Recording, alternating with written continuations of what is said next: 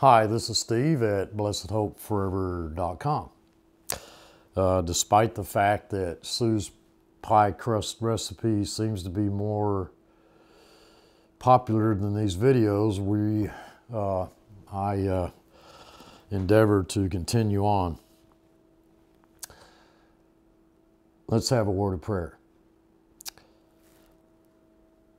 Our Father and our God, we stand in Thy presence by means of the Lord Jesus Christ and in the Holy Spirit, thankful again for the privilege and the opportunity to fellowship in Thy precious Word. May the Holy Spirit take the hour, may He filter out that which is error, but seal to our hearts truth. May the Lord Jesus Christ be exalted.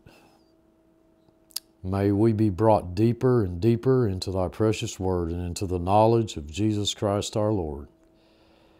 For it's in his name we pray. Amen.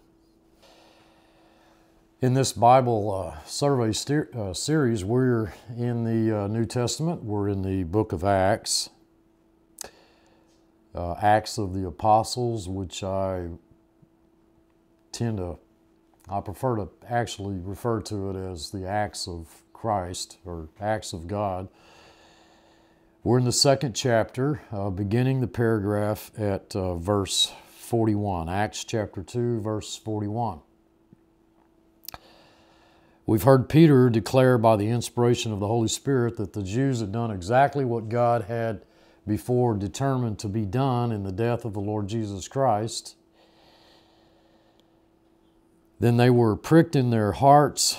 Uh, they asked what to do. Uh, we looked at Acts 2.38, uh, repent and be baptized.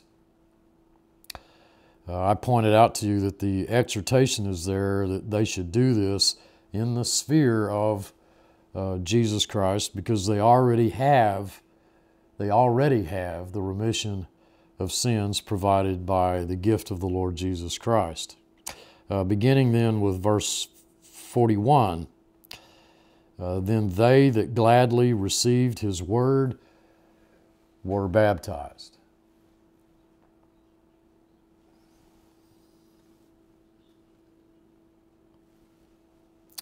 I don't believe that these uh, Bible surveys are the place to, for a detailed discussion on baptism.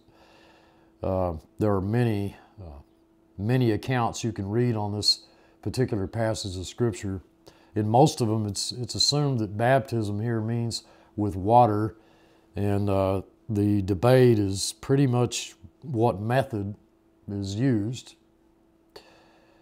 Uh, we read in the 41st verse, They that gladly received uh, were baptized, and there were added unto them about 3,000 souls, uh, 3,000 lives. Now, if you happen to believe in sprinkling, uh, this is a very strong verse because uh, you might be able to sprinkle 3,000, but you probably wouldn't be able to immerse them uh, that many uh, in any place in the local area of Jerusalem. And so the sprinkling uh, uh, advocates, they believe this is a strong passage of Scripture for their position. Uh, you know, because they point out things like, you know, it's, it's, it's absolutely uh, inconceivable that this many could have been immersed. I'm simply going to suggest to you that I believe that the human mind becomes all tangled up in a consideration of the method and misses the truth of the passage.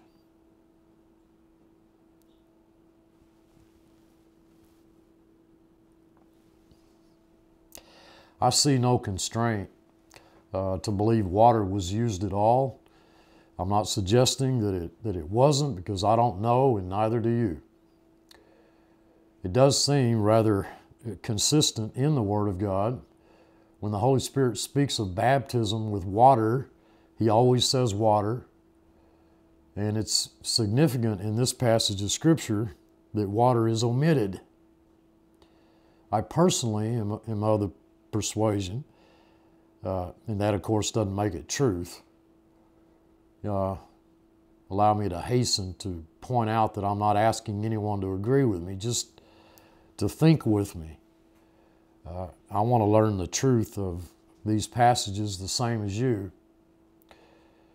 My personal conviction is that whenever the Holy Spirit means identification with water, He always says so. Now, John was baptizing with water because there was much water there. The Lord Jesus Christ says that John indeed baptized you with water, but when he shall come, the Spirit of truth, he'll baptize you with the Spirit and with fire.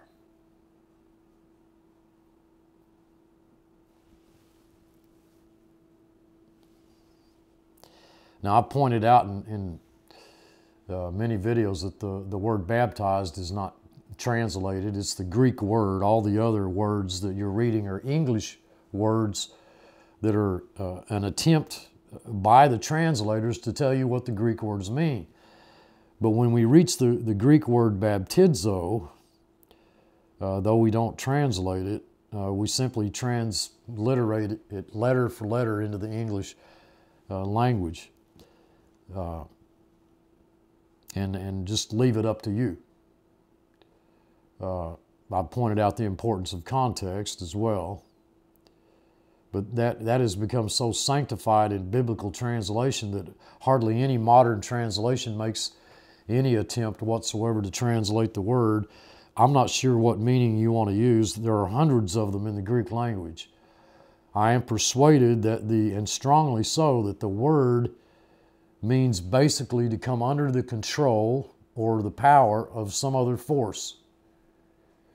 And I've often suggested that the word identify or identification would be a better translation. And I, I remind you, as, as we went through our study in Romans, Romans chapter 6, do, do you not all know that, that you have been baptized, identified with uh, Christ, uh, baptized into the body of Christ? It's a spiritual baptism.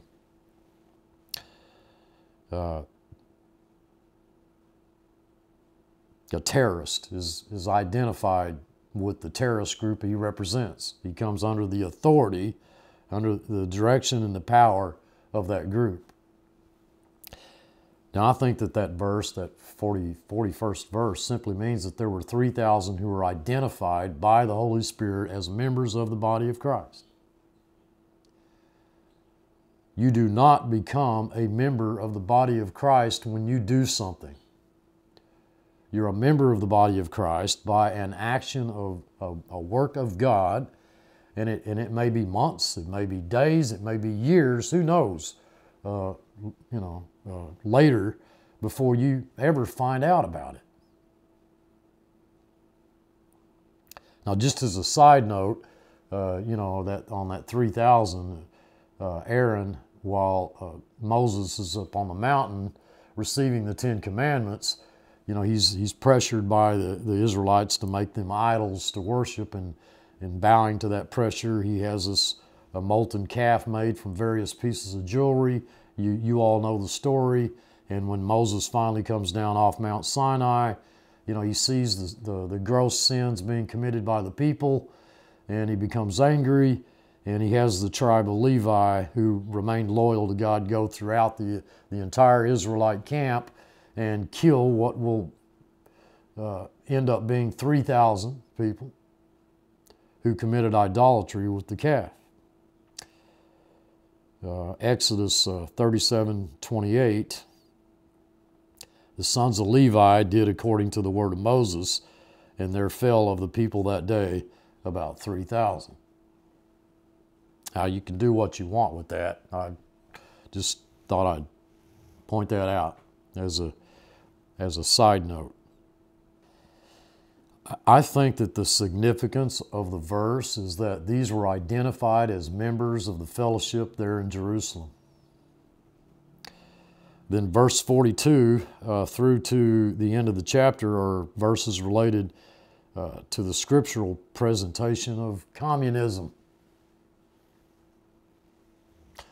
Now, I'm going to suggest that that idea is totally foreign uh, to Scripture totally unbiblical. We have no uh, presentation of commun- communism here or anywhere else uh, in the case of uh, uh, uh Ananias, Sapphira, in the fifth chapter, you'll look at you'll look at at them. That's the that's the same thing we're talking about here in the, in the second chapter. The Holy Spirit has Peter say to Ananias, While you had the field, was it not your own? Was it not your own? No, that's not communism, that's capitalism. Uh, while it remained, was it not thine own? And after it was sold, was it not in thine own power? Why hast thou conceived this thing in thy heart, thine heart? Thou hast not lied unto men, but unto God. And Ananias, hearing these words, fell down, and he gave up the ghost. And great fear came on all them that heard these things. And the young men arose, uh, wound him up, and carried him out, and buried him buried him. God said you could have done anything with the money, anything that you wanted with that money. Belonged to you. It was your money. You could have bought a boat, uh, could have gone fishing, could have bought your own airplane, could have invested in government securities, could have done anything you wanted. Wasn't it yours? Why then did you have to lie to God about it? That cannot possibly be any presentation of communism whatsoever. It's a presentation of personal property and personal ownership. It belonged to Ananias, but he had a stewardship over that. The argument is not that he was not communistic uh, in, in his tendencies. The argument is that uh, Ananias lied to the Holy Spirit about the distribution of those funds, which the Bible straightly declared to be his own. Could have done anything he wanted with it. He shouldn't have lied. Now, if we go back to the second chapter, uh, they continued steadfastly. And that's, I'm going to suggest that's what we ought to do.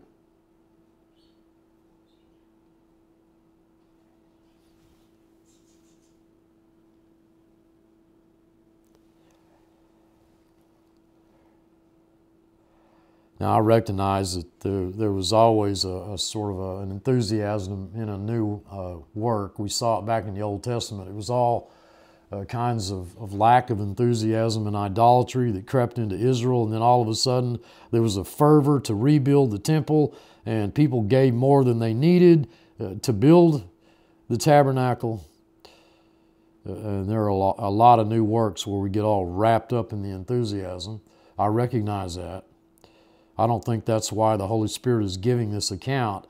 Uh, however, I believe the account is that this is the way we ought to be in our fellowship with God and with one another. Where His Word is key, central in it all. First of all, there was a, a continuance which was steadfast. Now, sometimes uh, that's difficult to do because the more we learn about one another, the more easily it becomes to discover our differences.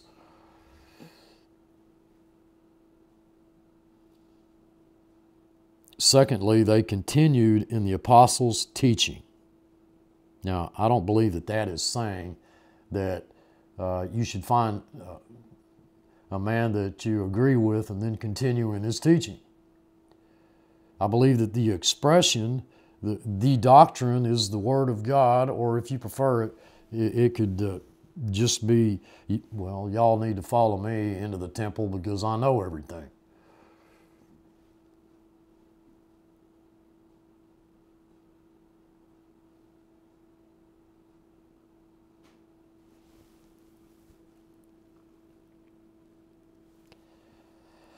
Dearly beloved, the Lord delivered that word to them and said that they would be witnesses. And when we finish with the Apostle Paul, we have the completion of the Word of God.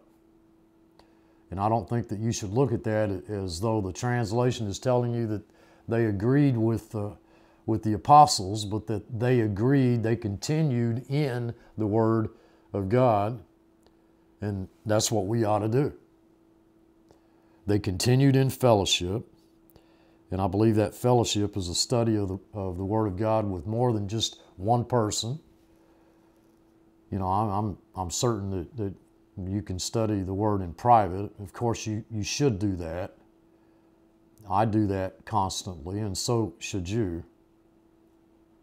But I believe that that in itself is insufficient. You know, if, if, you look, if you look at the manna as God gave it, you know, surely there's no constraint with God. I mean, He could have done anything He wanted. Why didn't He put the manna in, their refrigerator where they wouldn't have to go out and gather it?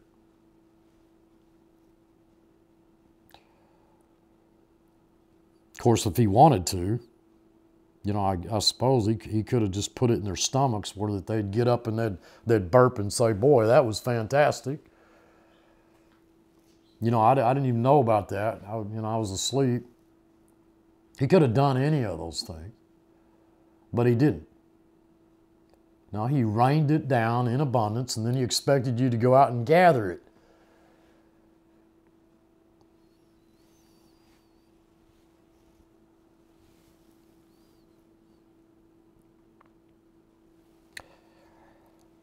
Now, I suppose that there was an Israelite, uh, you know, here or there who expected you to go out and, or, or there was a, a few that uh, who who waited till everybody else was done, or or you got up early in the morning before anybody started. But I, I would think in the main, if I could get your mind to wander just a moment, uh, what normally happened is that the Israelites were out there as a body, gathering manna and they probably spoke to one another.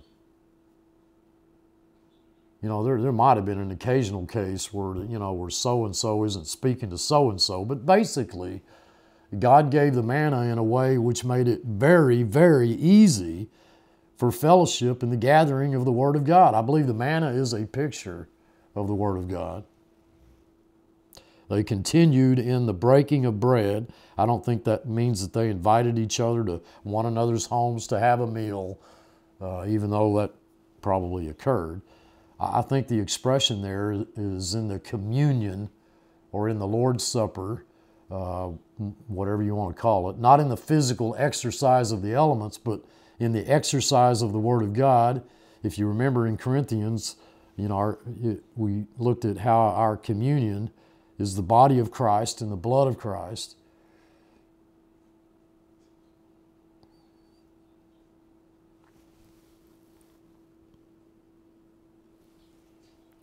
I think that the breaking of the bread there is, is more properly. Uh, I recognize that they had their love feast and they actually had bread and wine, but I believe the Holy Spirit is emphasizing the spiritual feasting upon the Word of God and in prayer and in worship. Folks, those are basically the reasons that we gather together. They continued steadfastly in the apostles' doctrine and fellowship, and in breaking of bread and in prayers. And fear came upon every soul, and many wonders and signs were done by the apostles.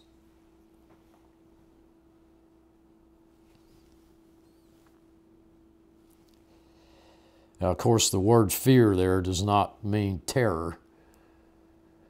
You know, it's the same word, but that word also means respect. You know, we do that even now, our language. You know, I was, I was afraid my wife wouldn't like the way I swept the floor. You know, is the guy saying that he thought maybe that, that his wife was going to beat him up or shoot him? I, no. You know, it, it's out of reverence or respect uh, for his wife that he says he was afraid that she wouldn't have liked what he did. We use the word the same way. You know, we could be terrified of a grizzly bear, or we could be af- afraid that the flowers we got our girlfriend uh, wound up in the trash. You know, we use the word exactly the same way. The fear here is reverence and respect that came upon every soul That is every life. Many signs and uh, and many wonders and signs were done by the apostles. That's in perfect agreement with the Word of God because he says, first of all, that the, the Jews require a sign, and secondly, that these things will continue until the Word of God is complete. And, uh, and we studied in Corinthians, we'll, we'll see it again in, in the survey, that that is in fact exactly what happened.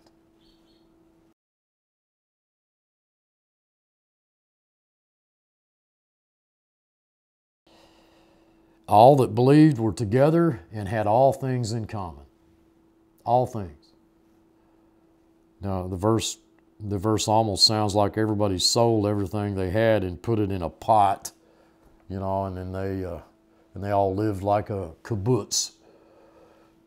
Uh, for those of you who don't know what that is, a kibbutz, it's a, it's a, it's a commune sort of, you know, uh, Israeli uh, uh, settlement, uh, usually agricultural, uh, sometimes industrial, in which all the wealth is held in common. You know, profits are reinvested in the settlement after members have been provided with the basics of things what they need food, clothing, shelter, uh, medical care, whatever. In fact, uh, there are those who suggest that, and even strongly, that uh, in modern literature, that a kibbutz in Israel is as close to a Christian community as anything that you can imagine. Now, my personal opinion, besides the fact that now we have Israel becoming like China or North Korea or Venezuela or, or you name it, that is as close to a devilish community as, as anybody can imagine. But that, that tends to shock people when I say that.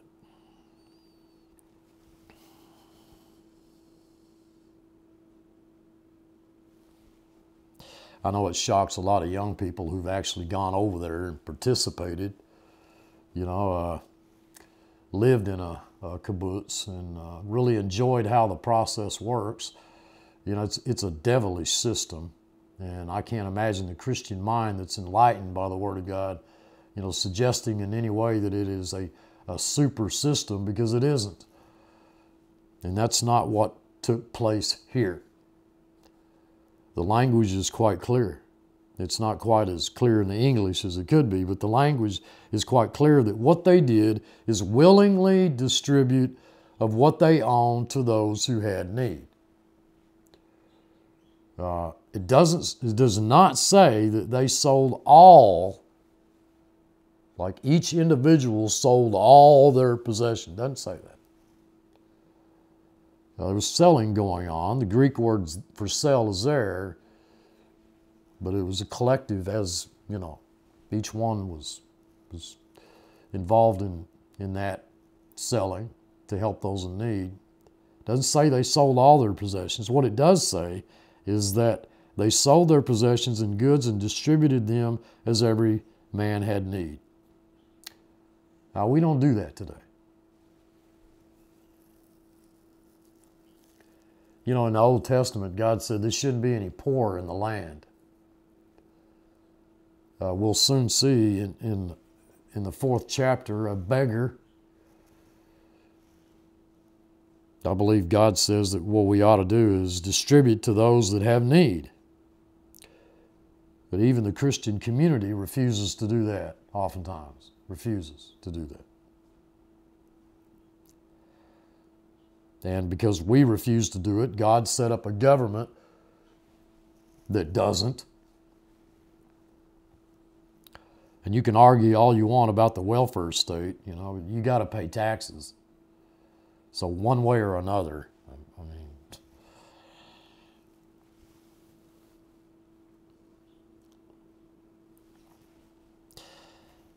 you're not going to win. All right, you know, God's going to take it from us one way or another. There shouldn't be any need for any taxation to be distributed to a, a member uh, of the family and the household of God, it isn't saying here that they became communistic, but that they didn't count their possessions as personal holiness. They were willing to share them. They were willing to part with them if necessary to help those who were in need. And they continued daily with one accord. I want you to note that we're in the temple. And, and we'll find consistently in the book of Acts that the witness always began at the temple.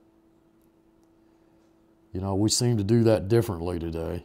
You know, we want to get out of the church system, but they were in the temple. They were breaking bread from house to house. They had home Bible studies. They, they ate their food with gladness and, and singleness of heart. Now, you know, you can call that a hamburger and a milkshake if you want. But I believe that food, folks, is the Word of God. And it was eaten with singleness of heart.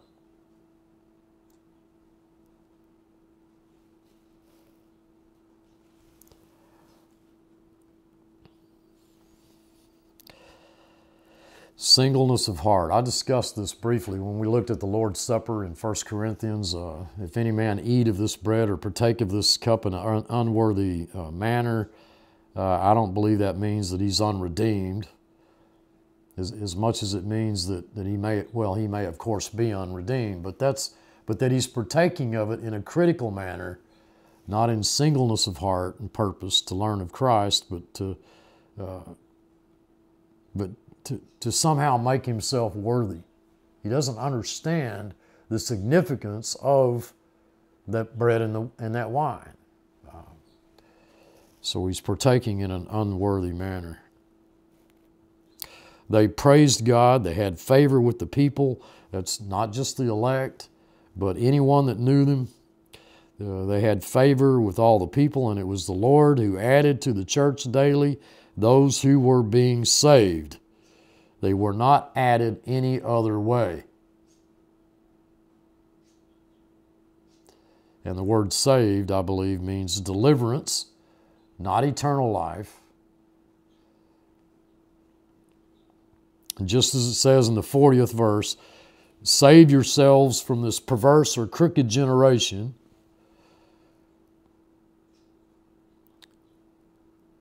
In the third chapter, we have Peter and John going up together in the temple, and there was a specific man there.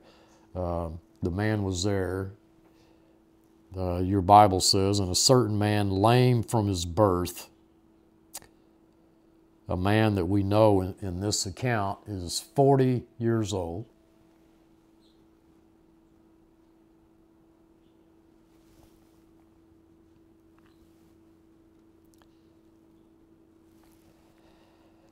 So here's this 40 year old guy. He's, uh, he's been lame uh, a long time. He's coming there to beg at the temple. Uh, he should not be begging at the temple. You know, the Israelite under God's economy uh, should have supported that man.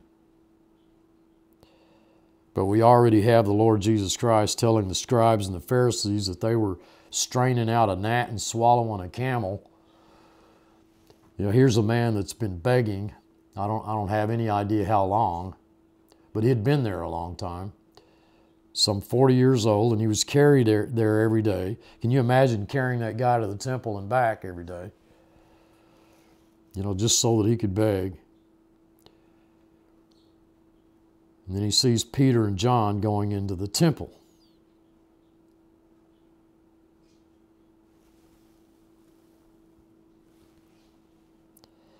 Now we know that the Lord Jesus Christ has said of the scribes and the Pharisees that ye are of your father the devil.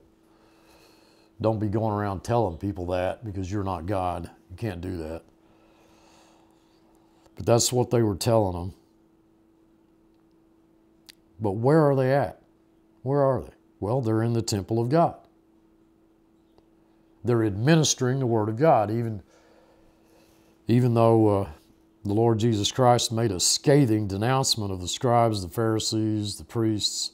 Yet the Lord says to his disciples, Now you do what the priest says, for he sits in Moses' seat, even though the Lord spoke of him as a child of the devil.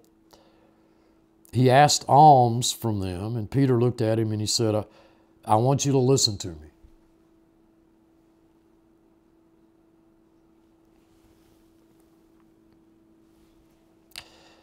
You know, now I don't suppose anybody had ever said that to that lame man. Uh, what they probably did is want to be as far away from him as they could. He noticed that they hadn't seen him, and if they did see him, they'd, you know, just toss a coin and move rapidly on. I don't imagine in his life anyone had ever stopped and said, Look at me. No, not to deify Peter here, but I think God wants us to look at him as our help in time of need. And Peter said, Silver and gold have I none. And of course, now we have a verse for folks who want to boast about the fact that they don't have anything, and so we need this really big offering.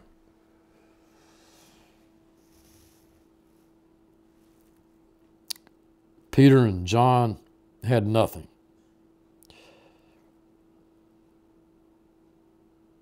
Boy, if, if alms weren't given to them, I get, you know, if they didn't receive any help, I guess they're stuck. I don't I do not believe that that's what Peter's saying at all. Peter said, I'm not wealthy. He's not he's not saying that he has nothing, but he's saying that I don't have a single thing that'll help you. You know, maybe another Roman coin. None of that would help that man. Now, I don't believe it's fair to the scriptures to suggest that Peter and John are, are absolutely destitute. They're both of them are broke. They're Peter and John are they're as broke as the Ten Commandments. I don't believe that. John owned his own home. He was able to take Mary in and care for her the rest of his life. I don't reckon he lived on her Social Security checks. I have to reach the conclusion that John was able, not only in, in having his own home, but able to take on the support and the, and the care of another person in that home.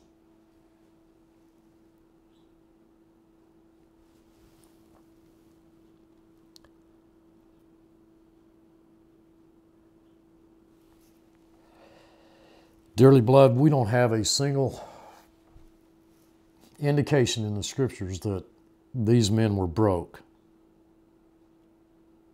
None of the foolish appeal, appeals that we hear today for the raising of money. Peter is not complaining about his situation. Peter is simply saying that what you're asking for and you're asking for help, what you're asking for, I can't give it to you. I don't have any ability to help you with silver and gold, but what I do have,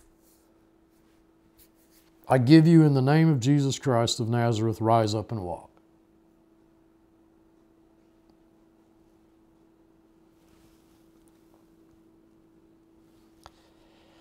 Now, of course, what you don't see there in the white spaces is the fact that Peter said to him, Now, if you just, you know, well, if you just have enough faith to believe, you can rise up and walk.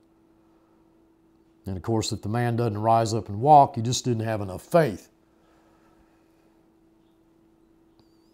And we're absolutely persuaded today that healings and miracles are the product of human faith. We see it on TV, you know, and you know, if nothing happens, man, he's got the perfect out. You simply just didn't have enough faith.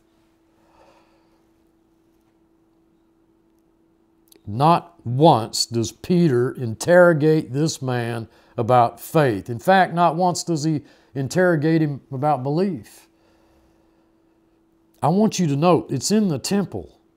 I do not believe that God has called us to work as monks or, or, or fly solo that organization may be a very loose organization. I, am of the persuasion it needs older needs older men, whatever that means. It, I'm a little bit concerned when the oldest man is 16, but I believe it needs older men to take its oversight. You know, there may be only five or six people meeting in a home where, where two or three are gathered together. Uh, in, in my name, there will I be in the midst of it. I'm not suggesting that it needs to be a large ecclesiastical organization with a building and a program and a, and a treasurer and all of that. But I do believe that God consistently, in His Word, operates in the midst of an organization of more than one person. You know, when the, when the Lord sent folks out, He sent them out uh, two by two. You know, when he left, he sent 11 men out, not just one. We, we, find, uh, we find Paul submissive to the organization. He went up to Jerusalem, says they didn't add anything to him, but he wasn't, he wasn't tearing the system down or suggesting that it shouldn't be there. And you don't, you don't have to spend much time thinking, really, to realize that it by far was not perfect. None of them are, because Christ is perfect.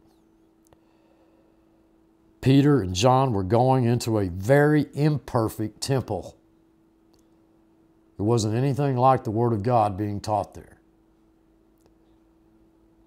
And the man was outside the temple.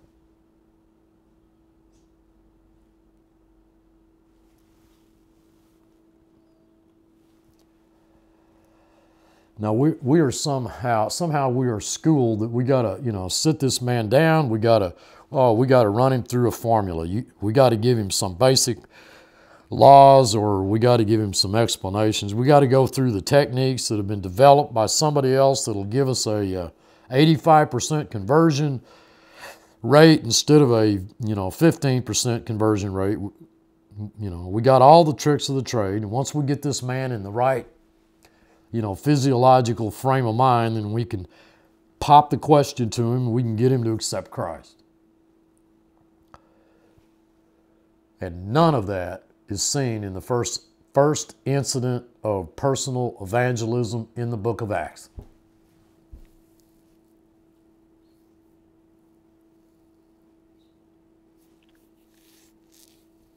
The fact that the man is lame, I believe, is a picture of, of spiritual inability. The fact that he's a certain man a specific man positively identified in the Word of God means that he's one of God's elect. He's 40 years old. What kind of a God do we serve that would allow one of his elect children to sit there as a beggar for 40 years, or a man like Paul to be over 50 years of age before he reveals himself to him on the road to Damascus?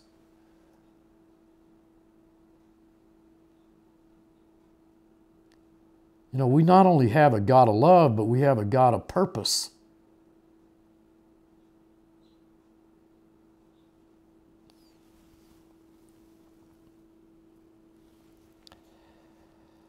I'm certain that if you could, uh, you know, just translate yourself to heaven's glory today and, and, and find that lame man who for 40 years, you know, sat outside that temple you know, somebody, some, some probably spit on him, some ignored him, some probably stepped on him. And if you were to go up to him and say, well, you know, isn't it terrible that God Almighty made you beg for 40 years before you met Peter and John? I'm certain that that man probably wouldn't even remember it. If God wanted him 40 years there as a spiritual illustration of the work of the Spirit and the choice of God, doesn't he have the right to do that? you know, we're so prone to look at that man's personal freedom and, and his personal happiness. You know, we want to sit down and cry because he can't he can't ever play basketball or football or, or baseball. We want to we want to speak of of the tragedy of all of the enjoyments in his life that he missed. You know, he never skied, he never he never played tennis, he never played golf, he never rode a horse. He never did any of those things that all of us find so enjoyable. And a God who we profess to be the God of love, just let him sit there.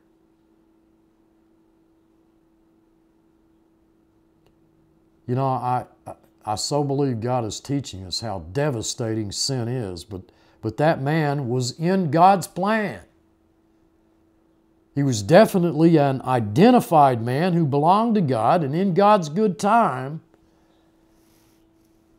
which is which in fact is nothing compared to eternity,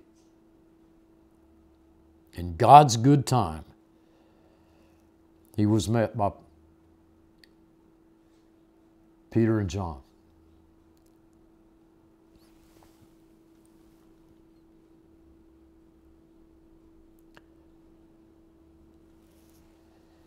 In God's good time, God's messengers came. They, they did not sit down and interrogate the man about what he believed or what he didn't believe. You know, I can't help but think of the, the blind man outside the, the temple when the Lord Jesus Christ came. He was also asking for help, and the Lord gave him sight. He didn't ask for sight. He never expected sight. The Lord didn't sit down and say, "Now look, we got to, you know, we got to talk bluntly here. What do you think of Jesus Christ? What do you think of the Word of God? Do you know that you're a sinner? And don't you know that as a sinner, you know, and, and, and we go through all the formulas because we want to get this man to say certain things as though if he recites these words, we can walk away with a, a satisfaction. Well, at least he's going to heaven. And dearly beloved, we do not have illustrations of that in this book at all. We don't find Paul interrogating the Philippian jailer or, or, or Christ interrogating the blind man outside the temple, nor, nor Peter and John interrogating this man. It fits in exactly with our discussions of the ministry of reconciliation.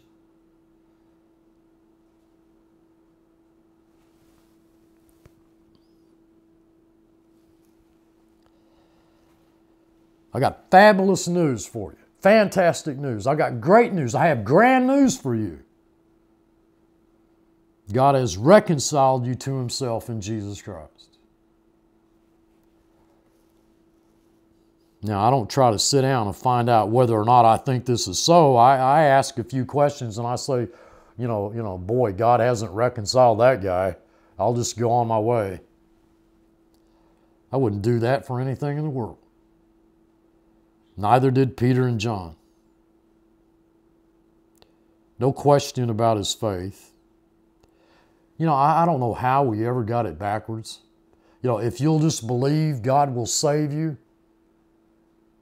We don't seem to realize that every illustration in the Word of God is that God redeemed His people and then they believed. But somehow we want to turn that around and put the cart before the horse. Somehow, somehow we turned that thing all around and, and, and to say, well, if, if you'll believe, God will redeem you. When the book says just the opposite.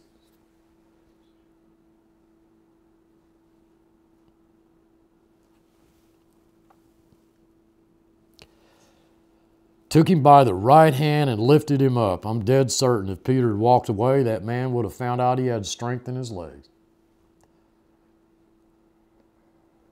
Some of you probably have, broken a bone here or there. You know, I, I had a horse rear up, fall back on me, busted, I don't know what. It shattered four of the nine bones in my wrist to dust.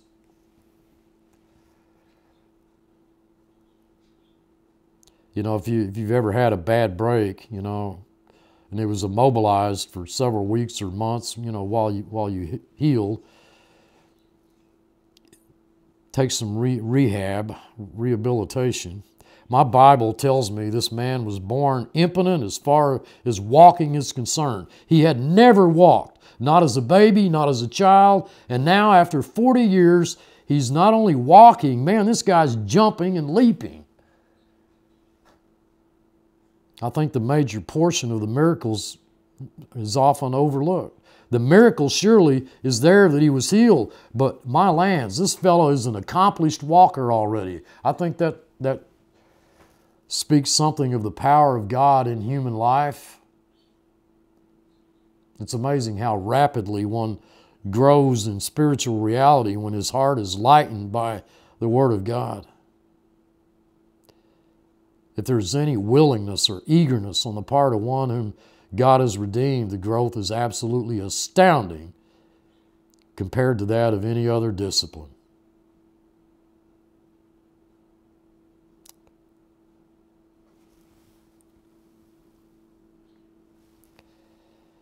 I'm not going to sit here and suggest that that a person uh, becomes a super Greek scholar overnight or knows everything there is to know about church history.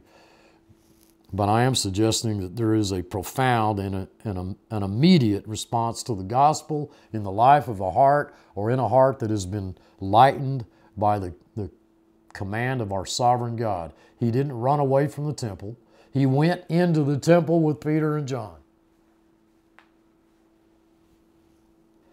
Now, I think the account there, you know, if you want to let your mind wander a bit, I, I think you can you can only marvel at the sovereignty of God. He'd been that way for 40 years. He was there when Christ walked in the temple. Christ came to the pool of Bethesda and he singled out one man and healed him. Why not this man at the temple? 40 years.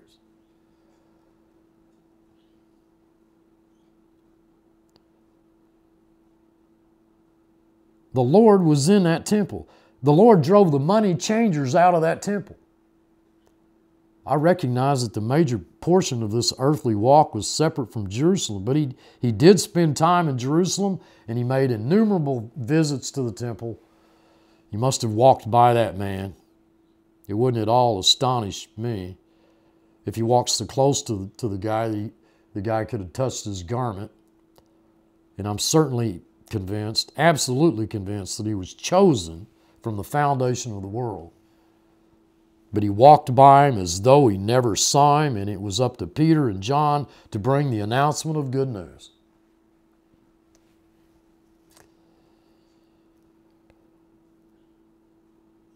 The Lord didn't do it when he walked by. Peter and John could have said they had accomplished their purpose in, in simply declaring unto him truth, but he went with them and those in the temple knew about this guy.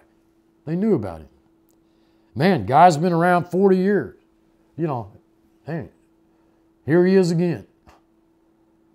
Same guy. They knew about it, and they were filled with wonder.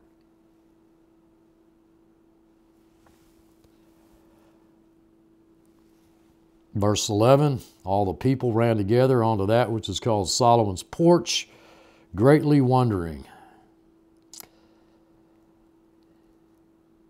Folks, there is a close affinity between the person that finds out he's a member of the body of Christ and the person who tells him that.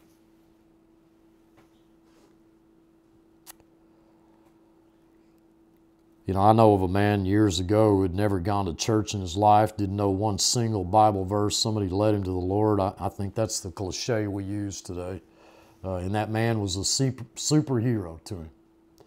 Uh, when he heard he was redeemed, he wanted to go where that man lived. He wanted to go to the school that that man went to. He wanted to go to the church that that man went to. And it was a very, if you'll pardon my accuracy, a very oddball church. And the man who had come to know the Lord, who had come to know what God had done for him, went through a very difficult period in his life. He was finally beat up by the elders of this church and thrown out. He went to a Bible school where they downgraded him because in reading the Bible, he couldn't make it fit with what they were teaching. And he tossed and turned in a very terrible life for over 10 years as God dealt with him lovingly in the Word of God.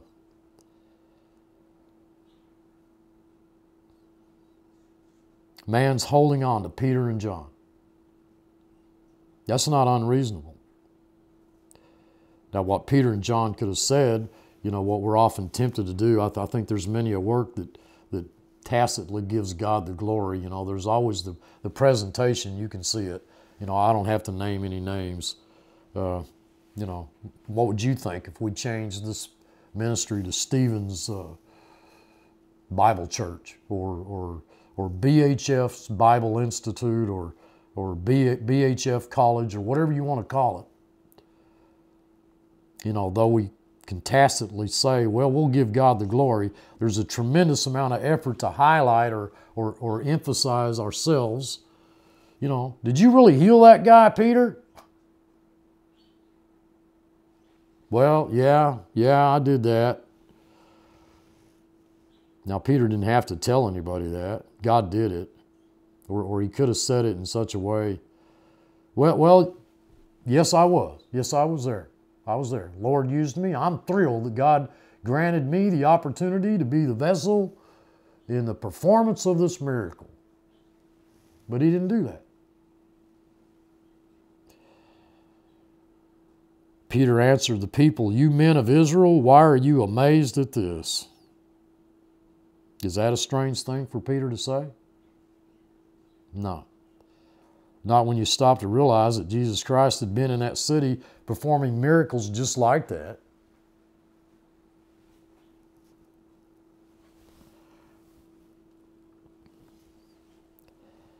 There were blind men who could see, lame men who could walk, dead men who rose from the dead. You know, not this guy jumping around in the temple.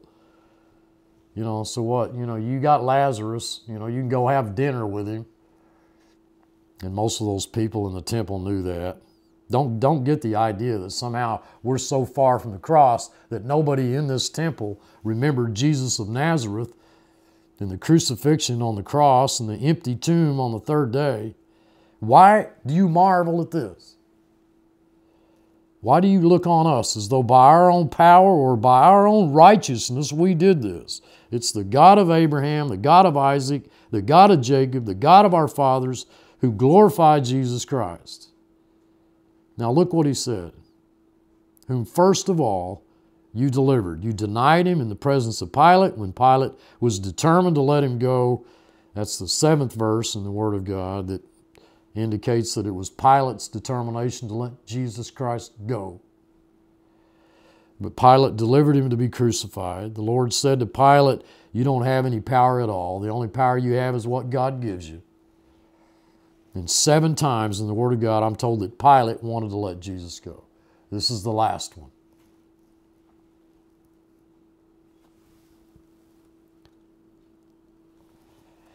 I have the statement of the Holy Spirit that it was Pilate's personal determination to set him free, but he delivered him to be crucified because that was by the determinate will of the sovereign God. And boy, that's tactful. I mean, one can't hardly imagine a better way to start a gospel message right there in the temple.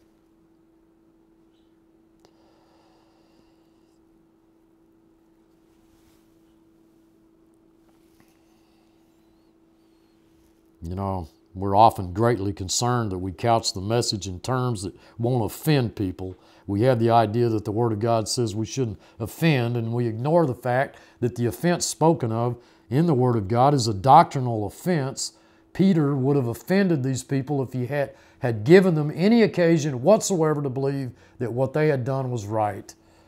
That would have been an offense. And what he said was true. Can you imagine a Peter who forsook him and fled? And days later, you know, he's taken a, a, tremendous chance here in the temple. These people had demanded the death of Christ. Peter's identifying himself with a known criminal who was executed by the state as far as these people are concerned. Now, I'm not in a faithful proclamation of the Word of God at at, in, in any personal risk in any fellowship that I know of. But I believe the walk of one who is faithful to the Word of God is essentially a lonely walk, not separate from the institution. Peter was essentially lonely in that temple. These were the people who had delivered Christ, denied the Holy One, and killed the Prince of Life. That's where he had to labor. I pray not that you take them out of the world system, but that you keep them in it. Keep them in it. And what he's declaring is truth, which makes no allowance for any popularity contest.